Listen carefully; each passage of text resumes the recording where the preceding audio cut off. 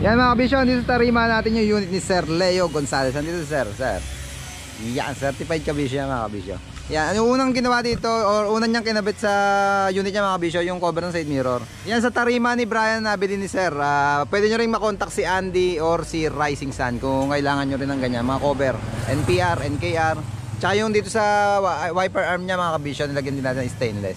At tsaka ito, naglalagay ng door visor.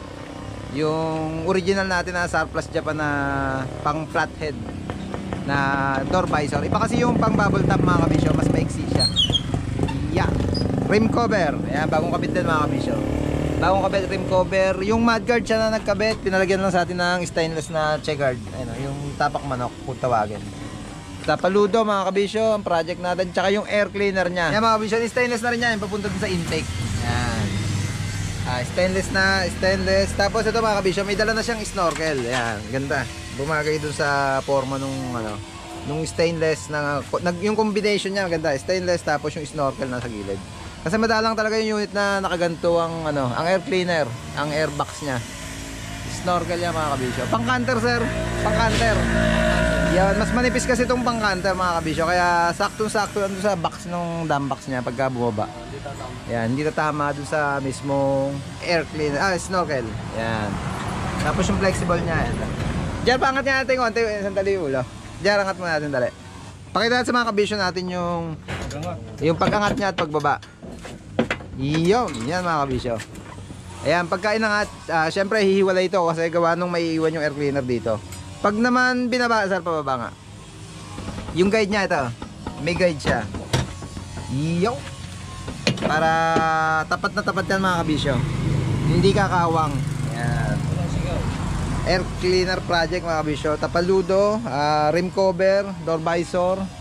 Yan, yan yung mga ginawa dito sa unit ni Sir Leo ng Talampas, Bustos, Bulacan. Sunod yung tapaluto sa likod sa kanila. Yan, may next project na tayo. Tapaludo ito. Papalitan na daw ng stainless.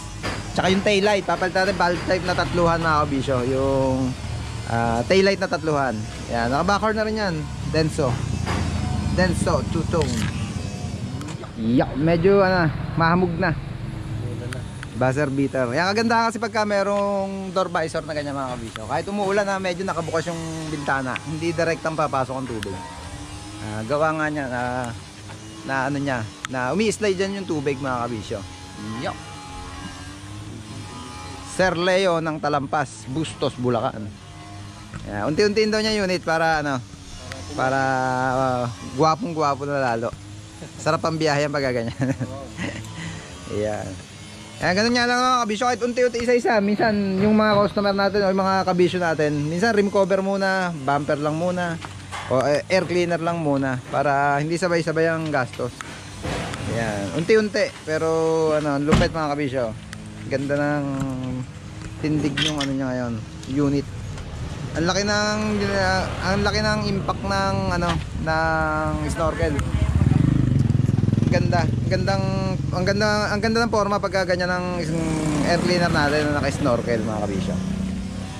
Yan mga kabisyo, magagawa na rin tayo ng ganito stainless para sa mga gustong magpagawa or magpakabit ng ganyan.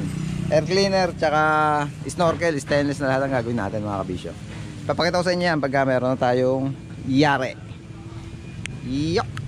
Yan mga kabisyo, meron tayong bago pasok dito sa Tarima. Wingman. Project nandito tapaludo tsaka side grill. Yo. Pakita sa inyo yan pagka okay na. Hindi ko alam kung may babaguhin pa dito. Si Rising kasi kausap niyan na ah, si Rising at si Brian. ah, ang kausap nitong may-ari ng unit mga kabisyo. Yo. Isa na lang, last one. Abot na yan. Huwag ka muna lalakasulan. Yo, kabisyo. Backhorn Republic. Didikitan din natin mamaya na sticker na malaki mga kabisyo. Pati doon sa likuran, yung panlikod natin na mahaba.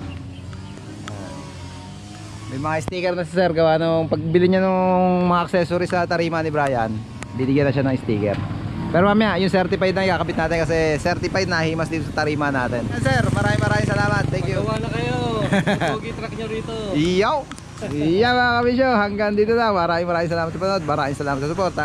Please like, share, subscribe to my channel Bacon Republic para updated lagi kayo sa mga unit nating hihimasin. Peace, Bacon Republic!